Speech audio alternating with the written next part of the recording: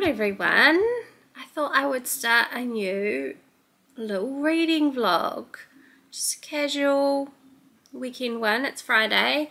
I am late for work and yeah, I just thought I would do this over the weekend and see how we go. I have finished a few books in the last couple of days. I finished Jane by Maggie Nelson and I finished Saving Agnes by Rachel Cusk, my first, first Cusk for the year. Yeah, I enjoyed Jane more than I enjoyed Saving Agnes. I will maybe give some info about that later because I am running late and I don't know why I've sat down to start this vlog when I'm late. Uh, but I have started this book, How to Loiter in a Turf War by Coco Solid. Um, or Jessica Hansell. She is a musician and the name she goes by the name Coco Solid in a lot of her musical acts but this is so so so so so good. I'm only 40 pages in and i know already that i'm gonna absolutely love this book. Um, but again i'll have to save that for another time because i really do need to go but i wanted to start this vlog now. Okay I'm going to read this on my walk to work and yeah, catch up with you in a bit. Hello, hello, hello. Uh, we got a new bed, so you're currently resting on the back of the headboard, which is quite fun. I am going to go get my nails done soon. The nails have grown out a disgusting amount and then also a few of them have broken so I need to get that fixed because it's driving me insane. Um, I also, also, also got some book mail at work today that I've been wanting to open all day but thought, you know what, we'll hold out. We'll save it for the vlog because otherwise I won't have anything to film. So, uh, first of all, don't judge Book Depository. It's hard knock life getting books here in New Zealand.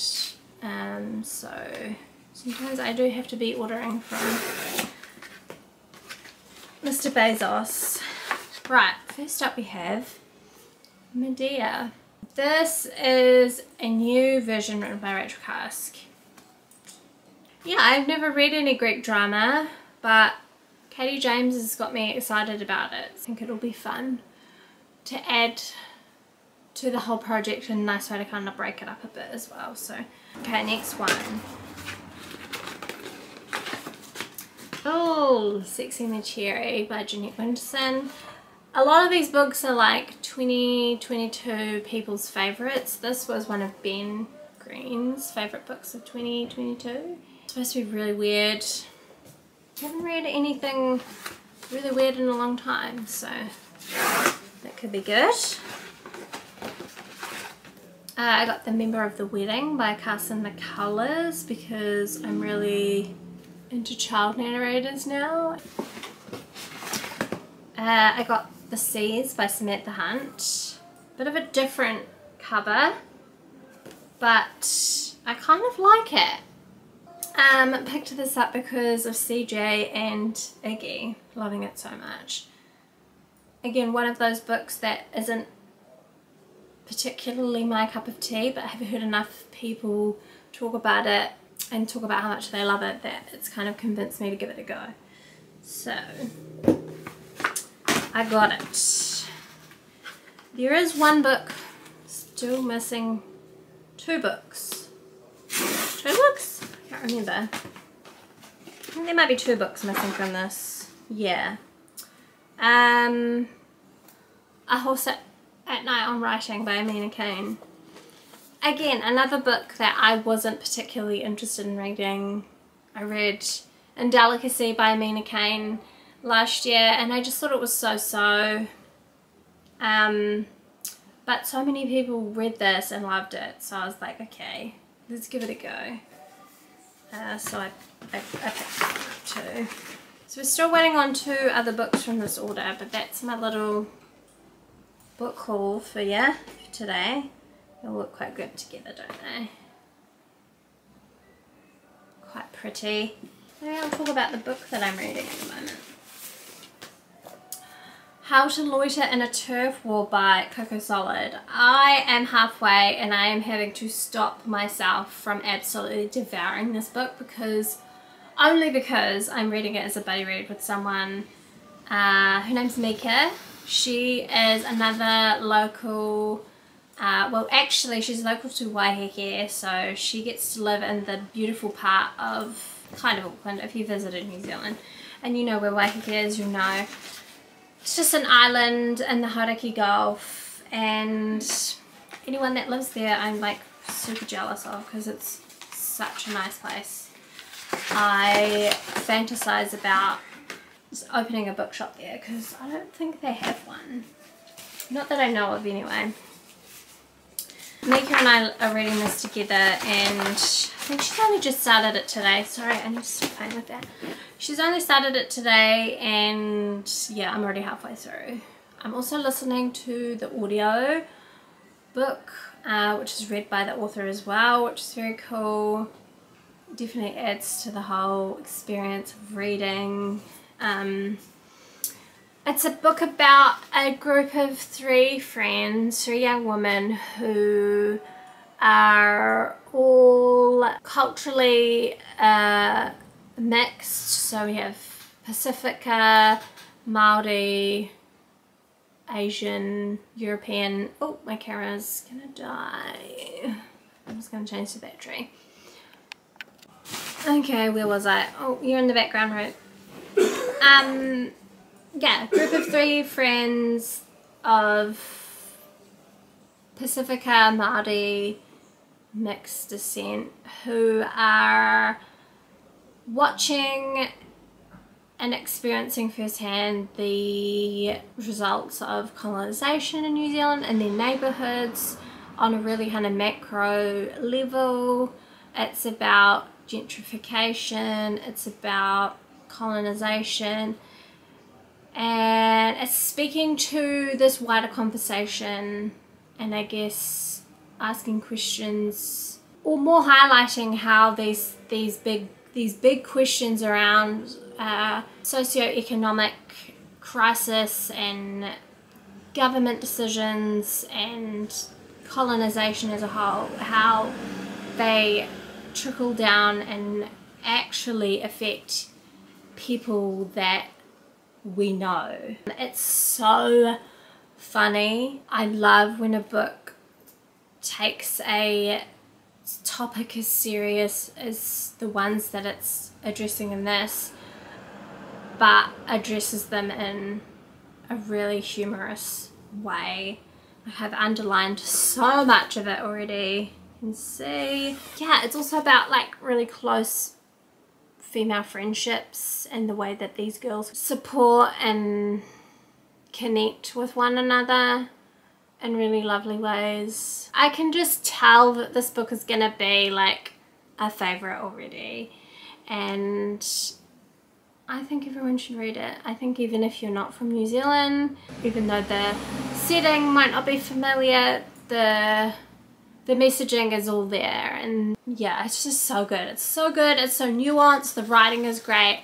It's fantastic highly highly highly recommend even though I haven't even finished I know it's just going to be amazing I will most likely touch base again when I'm finished I'm thinking I might pick up Lucy by Jamaica Kincaid. I know I'm going to pick it up because I'm going to buddy read it with Nathan uh, from Nathan's Nook. And I want to stop. I, I want to keep reading this. I want to finish it, but I want to be a respectful buddy reader. And so I'm going to pick up Lucy instead and make a start on that, even though that book is also only very short. Yeah, that's all I have to say about that. And we'll check back in when I've done my nails and they're looking less gross and grown out. I'm probably not going to go for anything special because I can't really be bothered deciding so I might just do like a plain Jane nail again and next time we can go for something fun. You know?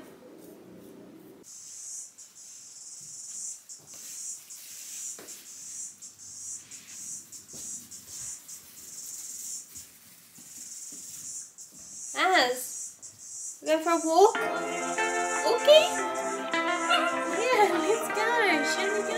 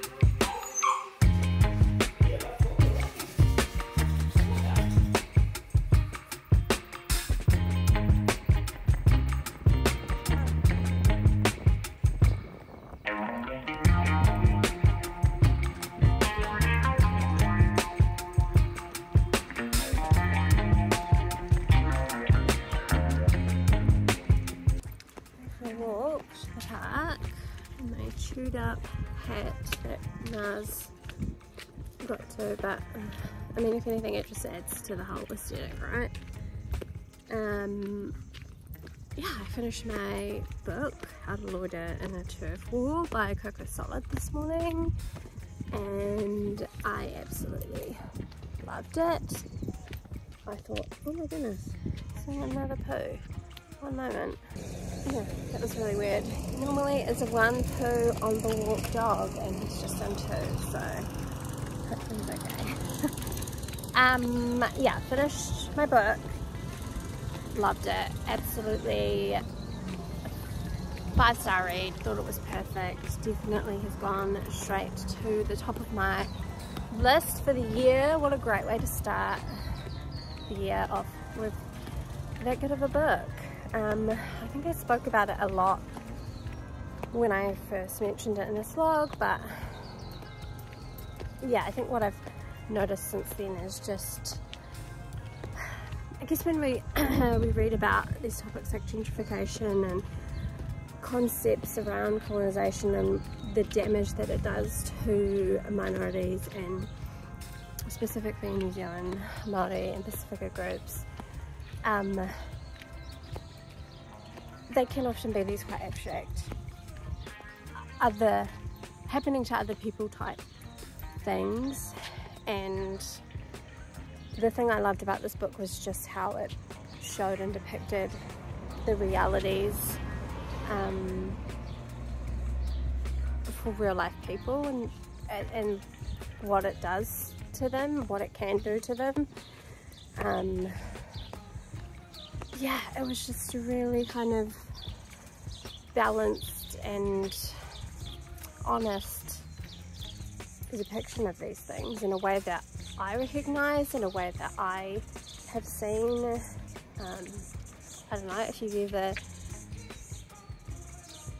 coming from where I come from and going back to that neighbourhood and seeing how it's changed is both heartbreaking and also just the reality of what it's like to live live in these colonized places. And yeah I had a really a really good conversation with a friend yesterday um, about a lot of things. And I guess just how how much thinking and how much emotional, how emotionally heavy those things are for, for us as Māori people to have to consider and think about and know that it's always going to affect us. It's, yeah, it's, it's pretty big, but this book was really special and I think an important read and everyone who is a human should read it. That's what I have to say. Um, I might try to come up with some better thoughts later, but for now, that's those are my thoughts. Um, but yeah, we're off to the park to go play.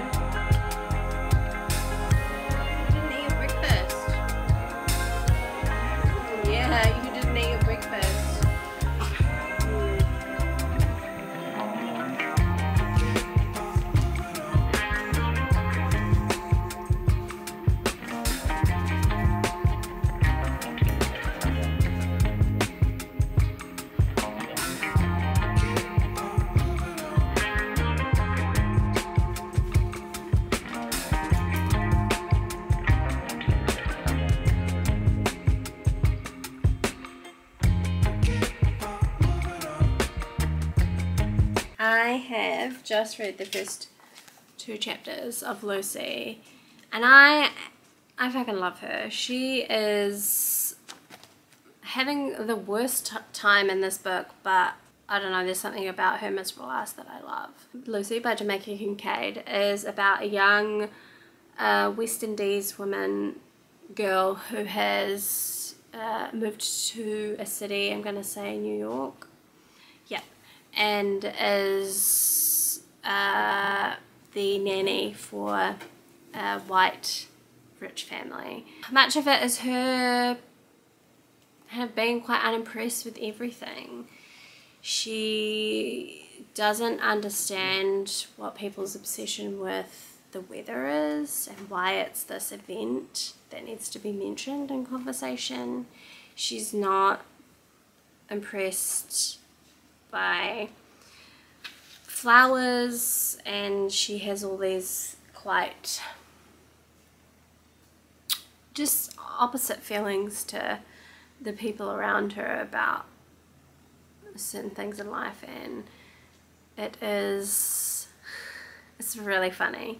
She is a very kind of sarcastic and dry narrator who yeah is just like telling it like it is isn't gonna stand down to anyone which is interesting given her position of being in this unfamiliar place. Like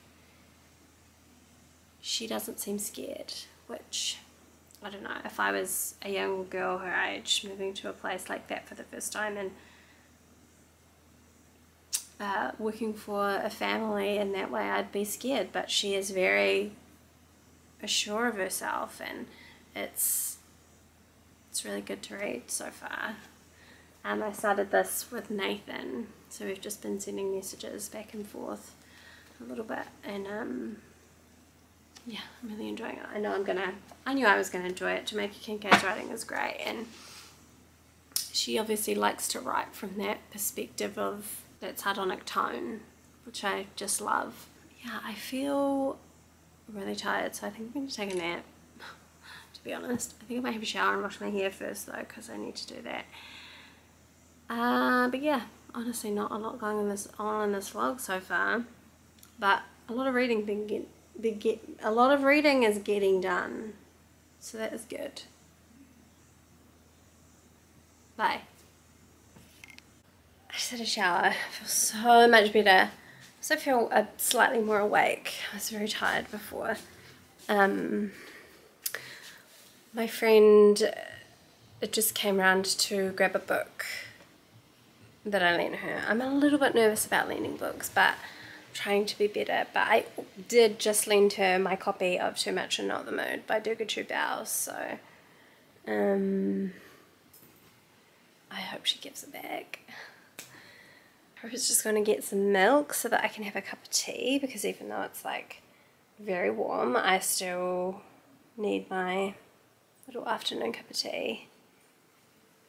And yeah, I'm just going to keep reading Lucy because I'm really enjoying it. Uh, okay.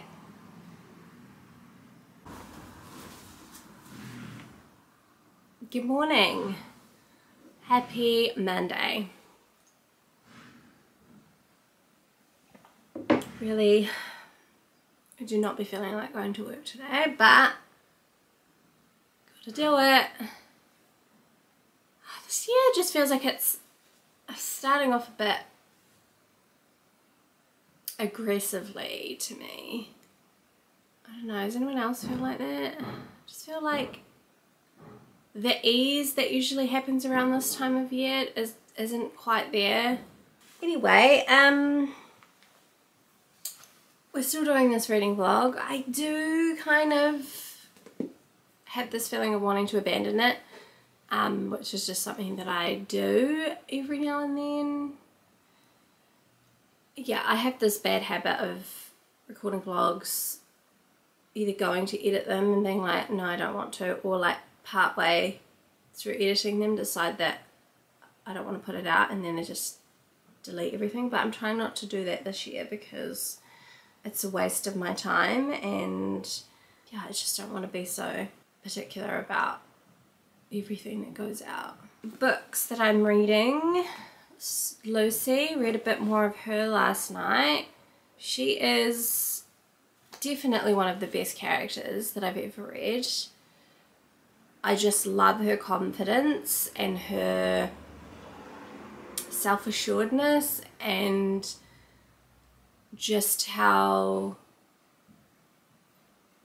how unapologetic she oh. okay camera battery died so I had to change it.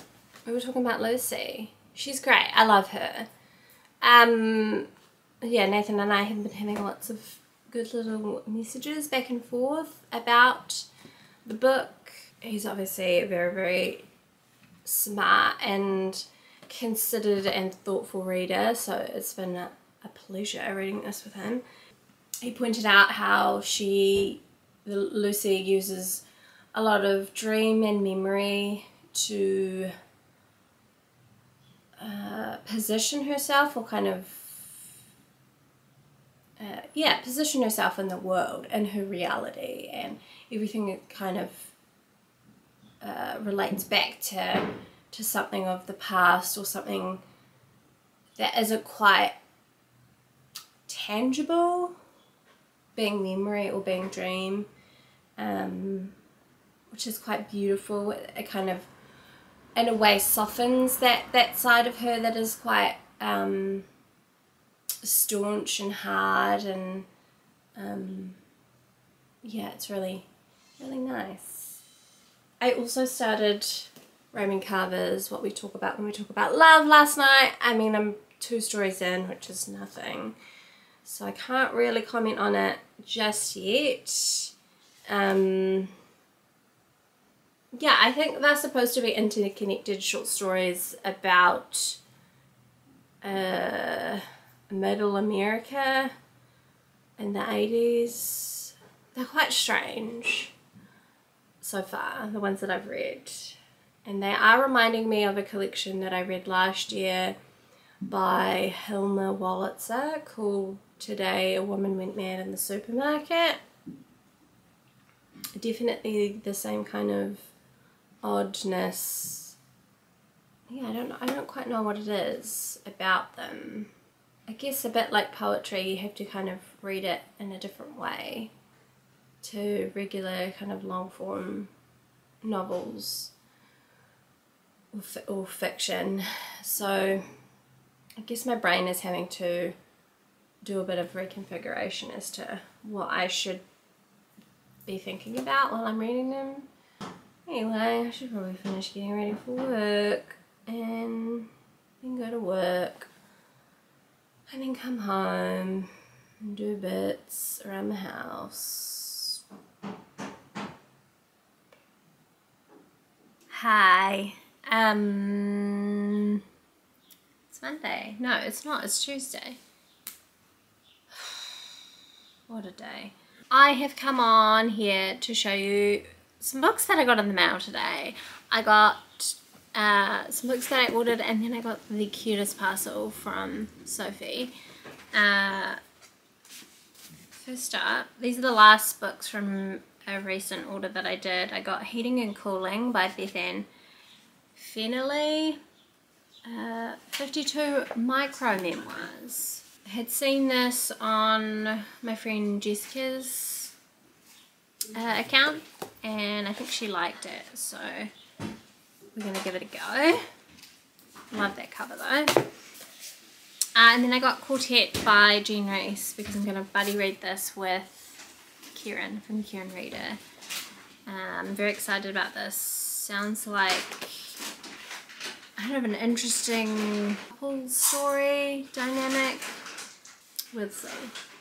Um, and then I got three books from my friend Sophie, who lives in Sydney, but recently, well, over Christmas and New Year, was in the UK and she bought a lot of books and she bought me some and she also bought me Percy Pigs and Yorkshire Tea, which I am so grateful for because I ran out of Yorkshire tea at home and I freaking love Percy Pigs. She got my, me My Phantoms by Gwendoline Riley, uh, which I have seen quite a few people reading and enjoying. I think most recently Hannah May has read this and enjoyed it. It's about a divorced mother. I've got First Love by Gwendoline Riley as well that I'm looking forward to reading. Sounds like she likes to write about difficult relationships, so I love that. I got the, uh, the Gastronomical Me by F, MFK Fisher. I've read uh, Consider the Oyster and I loved it. So wanted to read more from her and I heard that this is a great um, next step. Cute little bookmark. And this is obviously a Daunt Books one. That's where she went. Um, and then lastly, she bought me a poetry collection by Nina Mingya Powles, which is so lovely because I very nearly bought this for myself the other day. But I don't know, something about it was like, mm, something about me was like, don't do it. Not because I didn't want to, but I don't know part of me must have known that she had purchased it for me. So thank you, Sophie. You spoil me. She also got me this beautiful scarf that I think I'm going to wear as a top because it's, it's tray cute. I'll go get it. Okay, this is it. These are the colours. You know, you know the Vish? Gypsy, like a gypsy top. Oh, okay, Rupert thinks I look like a gypsy. Cool. Well, I think it's going to look cute as a top. Just with like some black jeans, maybe a little jacket over top. Feel very spoiled, feel very lucky, and I think this is a good place to end this vlog on. Hopefully it's half decent and you've had a good time. Not a lot has happened in the last few days, but that is my life. I can't really create interesting things just for video content, so yeah. Okay, thank you for watching. See you. Bye.